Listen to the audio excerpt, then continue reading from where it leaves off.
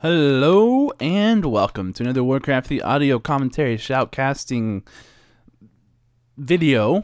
Yeah, it's a, it's a, I guess it is a video. So um, you can listen to it as an audio, hope maybe if you'd like. But at any rate, this is a video. So uh, this is Game Three for the WFDC 2v2 Best of Three match between Cal 51 spawning as the red human in the 12 o'clock position, allied with Scamp. Uh, the red orc in the four o'clock position on Goldshire. I'm not good with these things, these daggone positions. Okay, but we do see that is also going to be against Ted, spawning as the purple undead, the purple undead, in the uh, six o'clock position, allied with Fly, spawning as the purple orc in the uh, five o'clock position. No, no, wait, that's six, seven, eight o'clock position, eh, the eight o'clock position. So we do have just to recap that because that was kind of bad. Um, Fly spawning, he's the orc. Ted, out his ally Ted the Undead, and we're gonna have Cal 51 as human, allied with Scamp as orc. So that is essentially the sides, the matchups, and uh, yeah.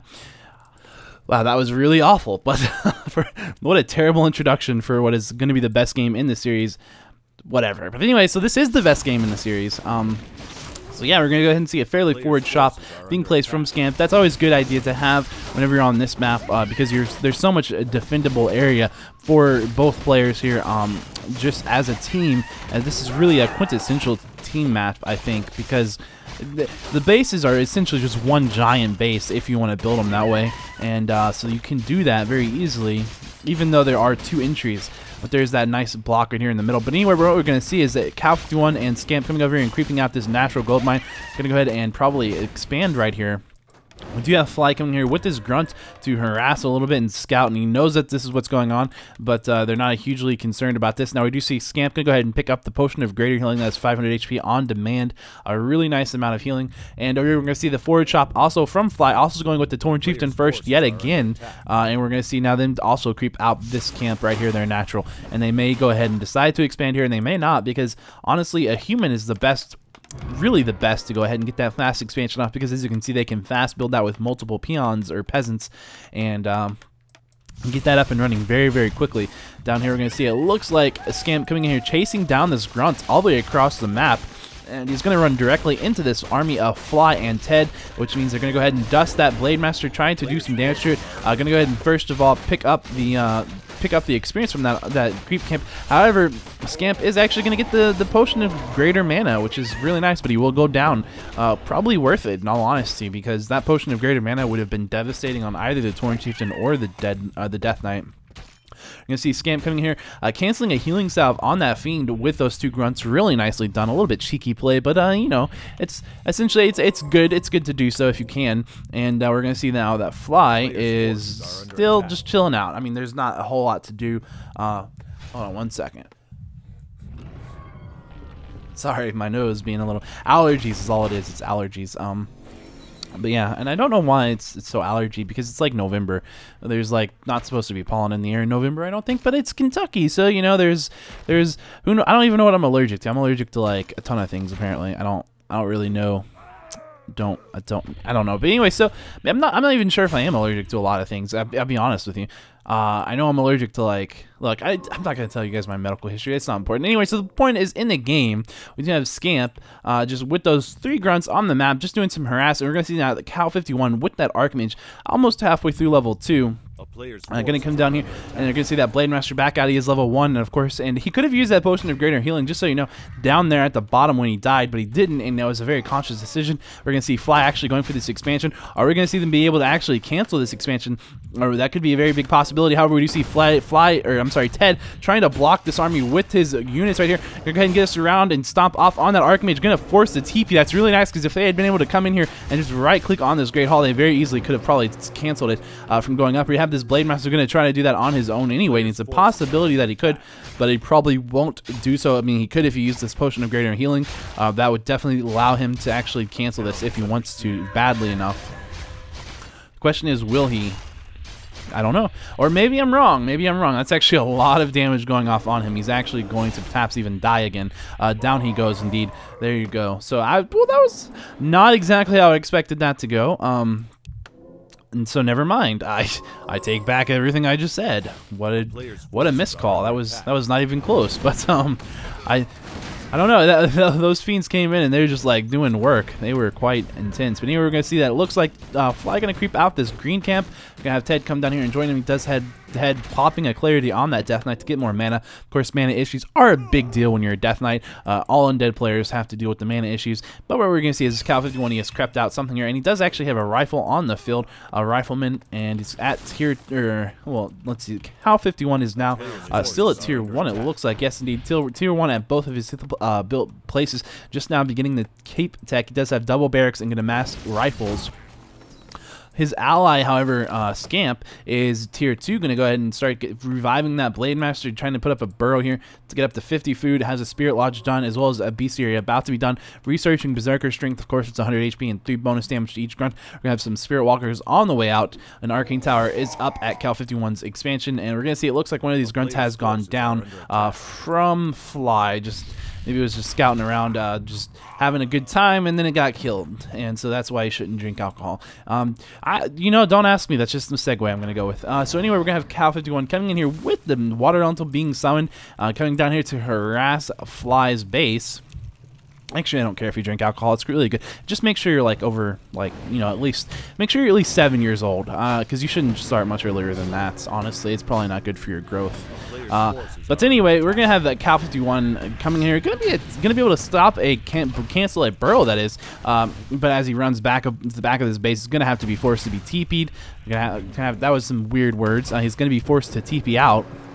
And Ted, knowing he's not actually going to pick anything out, comes over here. Looks like someone's lagging because Cal51 is very upset. He said out in all caps, and actually, I don't know if that's really upset. He's probably just Chinese, and they probably just, you know, like the way it looks in caps better. So uh, they probably don't associate that with yelling. But it might be, who knows. But anyway, they might. I have no, I really don't have any clue. That's a completely baseless assumption. But anyway, what we're going to see is a death coil being done to this Blade Master. The Blade Master not really too concerned about it. It's only a level 1, or no, it's a level 2 death coil. But it was Spirit Linked. That's what it was. And you can see, really, when you're Spirit Linked, you just don't take that much damage. We're going to have a Speed Scroll coming in here, trying to take some better positioning here for Cal and Scamp. However, we're going to see some Wands of Illusions on those Tauren Chieftains. They're very tanky. They do have a 1,000 HP. They do take, I believe... Um, I don't know how much increased damage they take. I think it's somewhere between 200% and 400%. I think it might be 200%. Uh, I think it's I think it's 200%. But anyway, that still would put them up to 500 HP. I mean, they're fairly large, bulky units, so they're fairly good at tanking. We're gonna see one of these flies. Uh, Fly's grunt right here running down. Uh, gonna get actually gonna get ensnared right here at this voodoo lounge and maybe gonna force a fight with that ensnare. We're gonna see. Uh, looks like both players are backing up, trying to ball themselves up into a fight to make themselves as durable as possible against this army that's gonna have to hopefully spread out. That's their goal is to have the big arc on the uh, the Cal 51 and Scamp's army while they're in a tight little knit place position.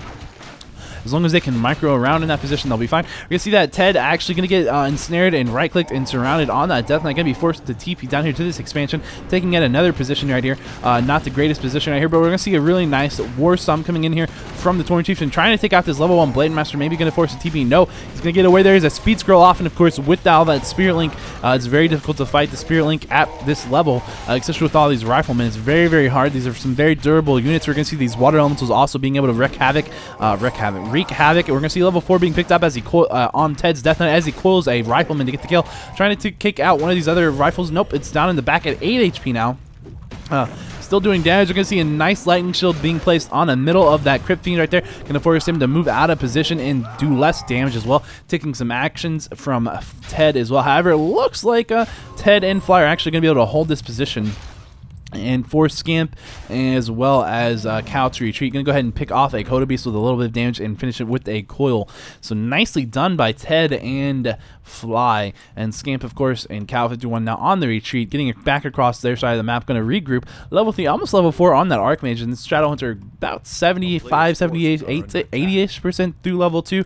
Uh, Blood Mage being picked up. I think that might be the second hero indeed. Uh, the second hero is Blood Mage. Interesting hero choice. I'm not sure Not totally sure why, but I guess he's going to go ahead and siphon some mana over to that Shadow Hunter. And the Blade Master is now level 2. Of course, he does have two scrolls of healing, a potion of lesser invulnerability, as well as a scroll of protection. So that is going to be a very durable army with the Spirit Link. This is their whole idea. There's Tier 3 actually being picked up uh, by Ted. He is now researching Destroyer form. If he can get Destroyer form out, he will be able to defend this push fairly easily with that Destroyer uh, that he will have. He will only have one, but that will be enough, I think, uh, to just really deal with all the Spirit Link and the scrolls of protection, the, the scroll of protection that's going to be used. Uh, but the issue is that it's going to take a little while for that to actually finish researching.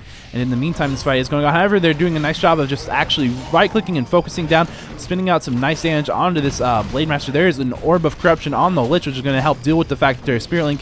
Uh, we're going to see a Death Coil going off onto that Blood Mage, a Healing Wave also going off. A really nice uh, stun, stunning pretty much the entire army of both Cal 51 and uh, Scamp. They don't want to ball their army up. That's not what they want to do. Not with the Tauren Chieftain on the field. He is level 4 now. He does have level 2 War Stomp and level 2 Endurance Aura as well as level 2 Unholy Aura. These units are very, very fast and very, very durable, and they're also attacking quite fast as well. Uh, and that's just the way it's going to be. And we're going to see perhaps still no Spirit Link coming in from Fly here, but he has got a lot of resources with that expansion. We're going to see one of these uh, death, one of these fiends is going to go down to Windwalk backstab damage, which is 40. He is still in level 2 on that Blade Master. We're going to see that Destroyer form being picked up, and now he's going to have a Destroyer out on the field, getting a fair amount of mana with the Dispels, uh, eating that magic, absorbing mana, whatever you want to call it. And he's going to go ahead and pick off the Blood Mage as well, trying to kick uh, the Kodo Beast that's in the back from Scamp. Going to force him to run away. Uh, now really going to have a hard time for Cal 51 to deal with this. We're going to see a nice War Stomp going ahead and stunning three of these Riflemen as well as this Archmage. Then we're going to force the TP. Yes, indeed, forcing the TP. To go ahead and Nova. I think a lot of kills right there with these Peasants. I'm going to take down one more. I'm sorry, Peons going to take down one more Rifle, maybe two more. I think two more Rifles died right there during that TP. And a very decisive victory in that fight for Ted and Fly. Um, really nice. And of course, Scamp and Cal are kind of relying on the fact that they had that Spirit Walk early on during that push uh, and try to take out this expansion if they could. Had they been able to do so, this would have been a really bad position for Ted and Fly to be in. But given that they were not able to do so, it's not that great. And that Water Elemental is actually going to feed level 5 to both the Death Knight and the Tauren Chieftain. So that is quite unfortunate for Scamp and Cal 51 because you do not want to have high, high level heroes, especially not a Death Knight and especially not a Tauren Chieftain. A Tauren Chieftain at level 5 uh, most likely will be picking up War Stomp at level 5, I'm sure. Let's see. Yes, indeed he did. And War Stomp at level 5 is just a massive, massive uh, AoE around this hero and a very long, long stun. So that's going to be really difficult to deal with from kow, 51 and Scamp. We'll see how we'll see how they react to that. We're going to see level 4 on this Archmage, still level 2 on this Blade Master, level 3 on the Shadow Hunter, and level 1 on the Blood Mage. Keeping this out, uh, going to go ahead and see what item did they get. Ring of Protection plus 2, not a huge deal. I'm probably going to sell that. We're going to see a Tome of Retraining being picked up on the Archmage. Forces are under attack. Uh, did they actually go ahead and sell it? Nope. Going to put it on the Blade Master. That actually makes sense as well. Uh, you need some armor. You need to be tanky on that hero if you can be. And uh, you know, th there is the issue that he's going to have to deal with the fact that armor doesn't help with spell damage, but it will, of course, help with all of the physical damage coming in from these units. Uh, looks like this grunt now is actually going to take some damage as well, and perhaps Scamps will lose this grunt as well. He did lose a raider right there that was trying to reinforce his army, uh, so both both of those go down. We just see these units are so fast. Look how fast this Tauren Chieftain is with that level 2 Unholy Aura and level 2 Endurance Aura. Watch him coming here. Oh, very as he comes in to stun, he's going to actually get uh, Hexed and Siphon mana. Going to come in here that stun not nearly as potent as it would have been, um, sending maybe a third of the army uh, from Cal 51 and Scamp. We're going to go ahead and see some Blizzards being used here. A, a Crypt Lord third for Ted actually coming in. Uh, we just see Fly's Kodobe's kind of ensnared, not a great position right there. We're going to see some nice War Stomps coming up here on the top part of the map. Going to see an Impale coming in. As you can see, these units really, really desperately need to have a Healing Scroll used to keep them alive for much longer. Um, but so much AoE, the Flame Strike and the Blizzard really just decimating Ted and Fly's army as well right now. Oh, oh that's not good. They are actually not going to need a healing scroll because they're just doing so much damage. They're going to force their opponents away, really just destroying all of those fiends. The death, the Crypt Lord not going to need a defensive coil. Uh, there it is, level 5 on that Tauren Chieftain. He does have Lightning Shield being picked up, however, he has now been hexed yet again, uh, and this time he is completely out of mana. You can see these fiends are about to both go down. It looks like will one of them get coiled? Uh, nope, not not going to happen. It looks like that. And the Lich is hexed. Will the Lich go down? The Lich goes down as well. Level 3 Lich on the dead, or dead now at that point. Oh, that's not good. We're going to see now it looks like Fly and Ted are forced to retreat. That was a really nice position, a really nice move from Scamp uh, with the Hex on that Tauren Chieftain, and then immediately taking that big arc that they wanted uh, to prevent uh, really too much damage coming in from that Tauren Chieftain. That was a beautiful play by them. Uh, I really thought they were not going to win that fight. I, they didn't have the hero level advantage. They didn't really have much at all in terms of advantage. Uh, they just took an advantageous positioning, and if that that was really it, and that was all it took. Uh, that was some really nice micro and really nice play. For Ted, we're going to see he's at 48 food. Uh, Fly is at 49 food. And if we look over here, we can see Cal 51 at 63 food and Scamp at 35 food. They might have had the food advantage. I don't know. I, I wish I had checked that before that fight had started, but I just I didn't think that they stood a chance. So I guess I have been proven wrong. Uh, really nicely done by Cal and uh, Scamp. Just really, really nicely done. And that that that uh, Blood Mage all of a sudden makes a lot more sense. You know, uh, you can drain the mana of the Tauren Chieftain, and but more importantly, you can also provide hexes uh, with the Shadow Hunter. And uh, so, I mean, there's a lot of lockdown on that Tauren Chieftain right there with the Hex and the uh, the, the Siphon mana. Uh, I'm not sure why I just said more importantly. As I was just thinking, I was also I was thinking also you can Hex the Tauren Chieftain. But so you, you can lock down the Tauren Chieftain, but uh, well, I guess you could say more importantly than that, though, really, is that once this Blood Mage hits level 3, the Flame Strike at level 2, if he goes with that, as well as level 3 Blizzard, provides just a ton of just ridiculous amount of damage. It's going to make Fiends a very poor choice as well as Grunts. Um, but we're going we're gonna see it, of course. Fly and Ted have reinforced their army, no problem. As we saw at the end of that fight, they were really at 50 food still each, and now we're going to see both of them breaking upkeep. Uh, Ted right here at 52 and Fly at 61.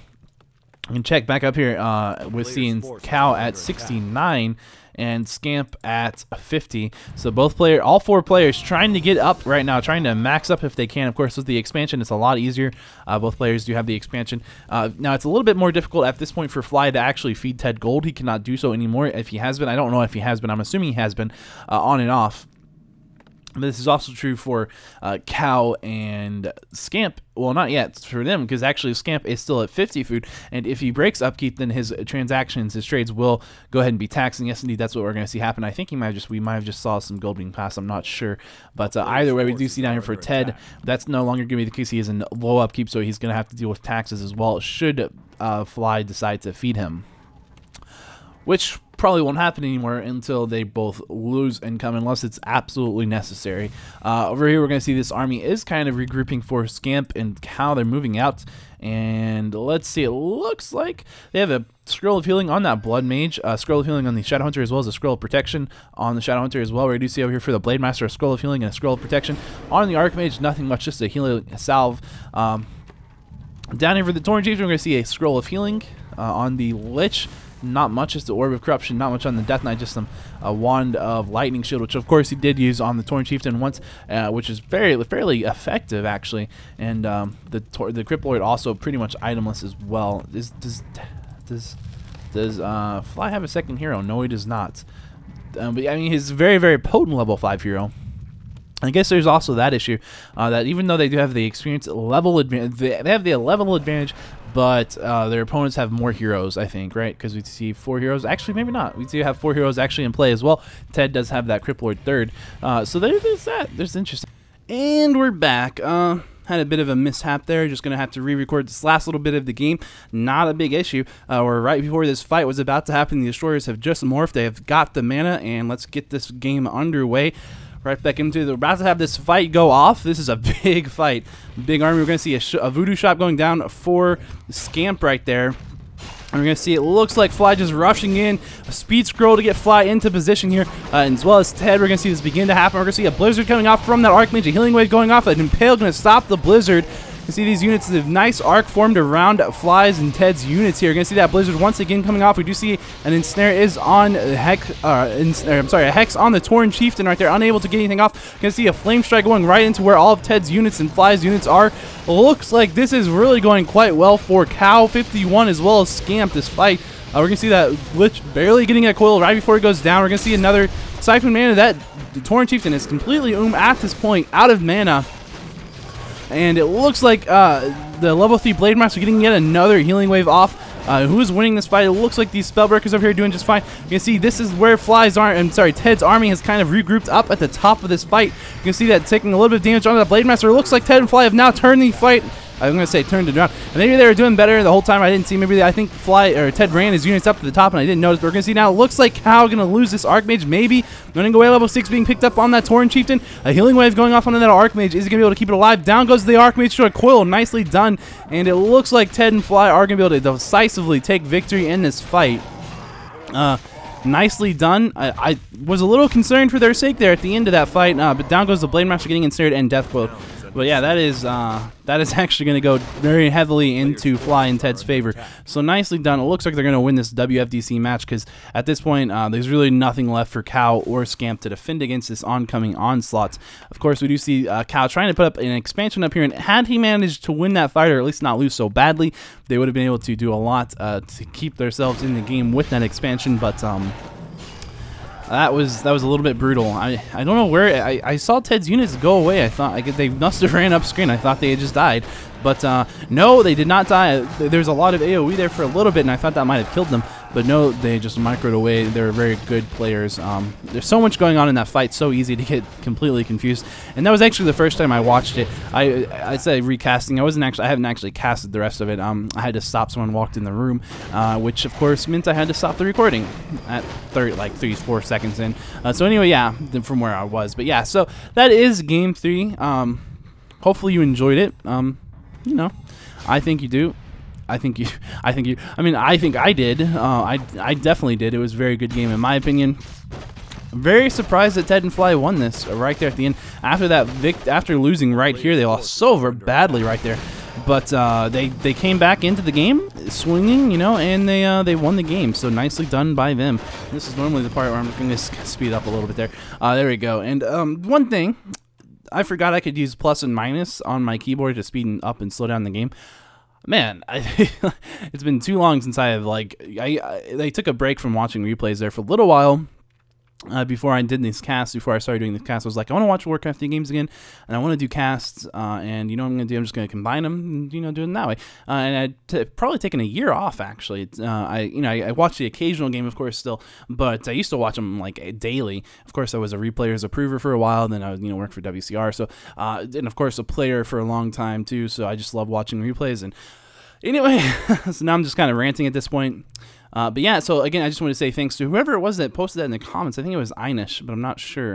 And I probably just murdered your name, and I'm sorry about that. But anyway, so that's game three. Hopefully, you guys enjoyed the series, and I will see you guys next time.